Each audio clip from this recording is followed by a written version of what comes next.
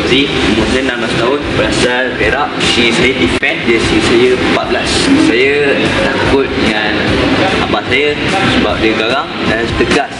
Saya bermula bermain bola Masa umur 8 tahun Dan saya pernah mewakili negeri Umur 12 tahun.